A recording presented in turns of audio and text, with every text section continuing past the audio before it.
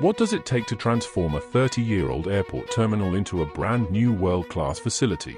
One that doesn't just handle millions of travelers each year, but wows them with breathtaking experiences at the same time. For Changi Airport Terminal 2, the answer came in the form of a massive renovation project that has added 21,000 square meters of space to offer even more services and refreshed facilities. But this was no easy feat. What, what was the issue? The team is kind of uh, quite concerned. Uh, there's an error detected by the scanner. Amid the global COVID-19 pandemic, Changi Airport Group embarked on a bold transformation plan to breathe new life to Terminal 2.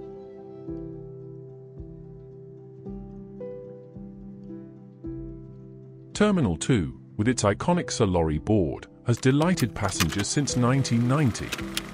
30 years down, in January 2020, Changi Airport Group shared plans for its expansion to meet growing demands for air travel. Construction was planned to be done in phases, but the global COVID-19 pandemic threw plans into disarray. In May 2020, the terminal closed completely to passengers as the pandemic brought travel almost to a standstill. But behind closed doors, CAG and its partners continued working day and night. Through the pandemic and the many restrictions that came with it, the team was determined to present a fresh new look for Terminal 2 when the situation turned around. As travel resumed with the reopening of borders post-pandemic, the south side of Terminal 2 was operationalized in May 2022 to welcome the return of more passengers. But works at the northern wing continued at full speed in preparation for the terminal's full reopening.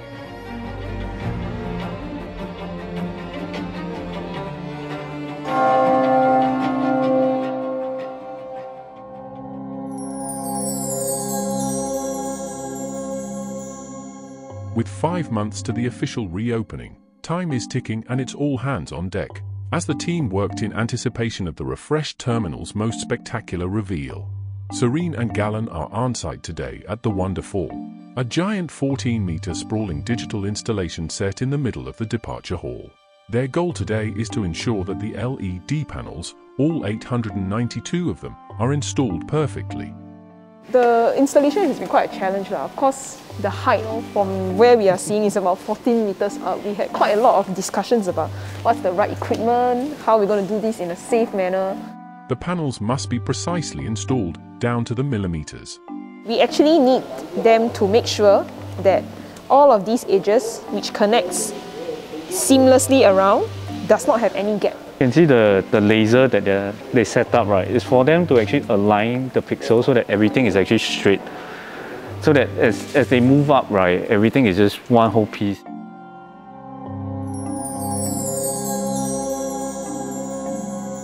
Works are also progressing well in the transit areas of Terminal 2. Glenn is overseeing the construction of a dramatic and immersive garden, Dreamscape. The garden features a special acrylic walking platform and a digital sky, there will be aquatic plant below the platforms and fishes. This will be something that very new in airport. The platform is constructed with multiple acrylic panels that must be a perfect fit, and it isn't as easy as it looks. The workers have to maneuver within the tight spaces of the garden. Today, they are transferring the last panels into the ponds using this A-frame ladder purposely designed for this purpose. Uh, it weighs about a few hundred kgs. A lot of space constraint problem here because you can see the panels are almost fully covered the ponds. We struggled a little bit from the beginning, but finally we are today for the last piece.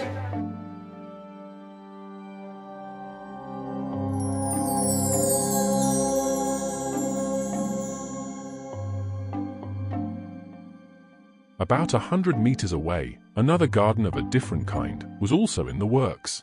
Glenn takes us to the Gourmet Garden, a dining area with lush greenery for passengers waiting in transit. You can see all the, the organic shade for kiosks nested under the overhanging greeneries and green walls.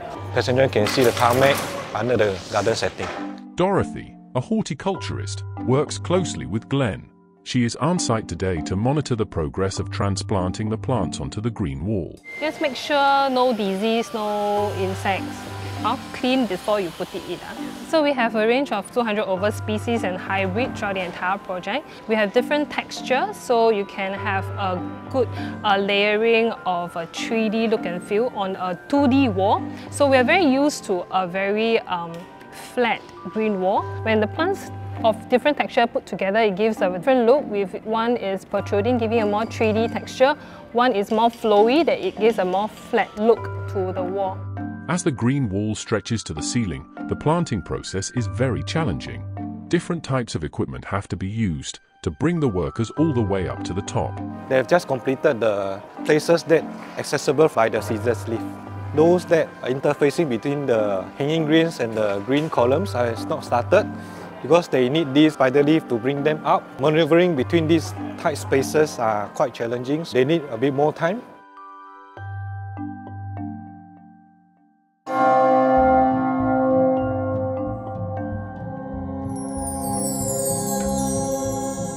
It's four months before the terminal's reopening, and the giant 14-meter digital walls construction is finally completed. The Wonderfall team is down today in full force, to test the visual effects and to discuss how the various parts of the project would come together seamlessly. Moment Factory, CAG's partner for the creation of this digital experience, is also on site. So the digital waterfall project actually comprised of uh, four teams. One is the PMO side, which is ourselves, managing the timeline, the budget and also Horti side that is managing all the landscape. EC side, experience creation team that is overlooking all the content of the digital waterfall. And last but not least, the most important is the projects team that help to build the structure to support the digital waterfall.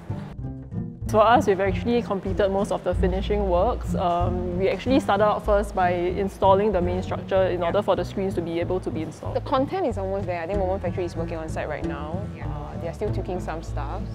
For planting wise, um, it's almost done, except that uh, some change of plants that are not doing very well. I think they are pending some light adjustment and alteration because you can see some shadows here and there in the patches. Sorry, one thing to highlight. You know the water is...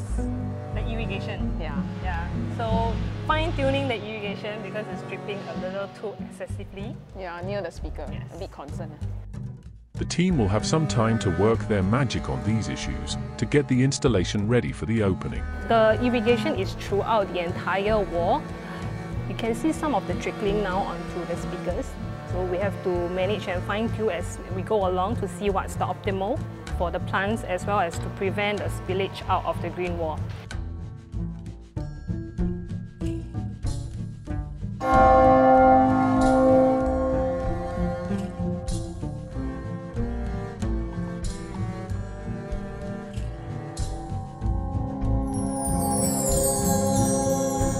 Back at the Gourmet Garden, Angel from the Experience Creation team is working to add a more delightful touch for the kids, a special bear-themed playground. We have like a limited size and space for the playground, but we wanted something iconic and still be fun for the children to play with. We have very precise measurements that we need to keep to due to the infrastructure. And so here we have a 4 meter mother bear and a baby bear.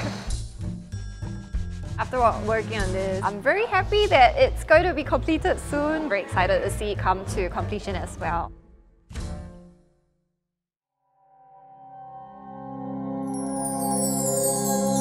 Over at the Wonderfall, the team is all geared up for an internal preview by senior management. Emotions are tense, as this is the first time the canvas will be taken down partially for a clearer view of the giant digital wall. Okay, so today we are opening up the canvas. It's the first time we are doing it uh, in operational hours. So um, the team is kind of uh, quite concerned because we are also worried about public safety and the staff going around uh, their normal jobs. But we also need to make sure that um, the management clears it from a distance because this is what the waterfall piece is about uh, it needs to be viewed from a distance. Because Moment Factory just started working on the audio, yeah. so they have been trying to integrate it into the service, but it's causing a little bit of problem okay. because it's a work in progress. Okay. So now we're, they're trying their best to get the audio up, which is what we're hearing right now.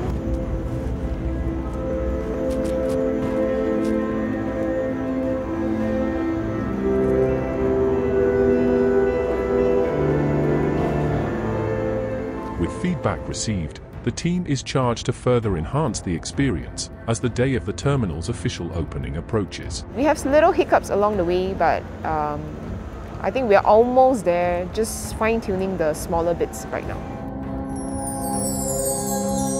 Meanwhile, at Dreamscape, the base of the garden is completed and planting works kick off. It is now over to Dorothy to ensure that the complicated horticulture elements of the garden can be executed well. The transit gardens has various hanging and upstand structures, which is a bit unique compared to the rest of the vertical structures around T2E. Structures are organic in shape, so these are closely positioned and to create a more naturalistic look. Plant selection is also another challenge for Dorothy, who had to ensure the best mix for the indoor garden to thrive. Certain position when it's more shaded, we will have to avoid a more sun-loving plants like the phyllanthus and we change it to a more shady-loving plant such as uh, the schindexes. So what we are looking now is about 30% completion. We are targeting to finish by one and a half months and we are on track. But this one okay leh. Will everything go on as planned? They have to adjust. leh. In next week's episode, we join the final countdown to the full opening of the terminal as the operations team prepare to welcome passengers at the terminal. We'll take a peek at the jobs to be done, from testing out check-in and baggage facilities, to fitting out brand new storefronts, and equipping the newest toilets. Stay tuned!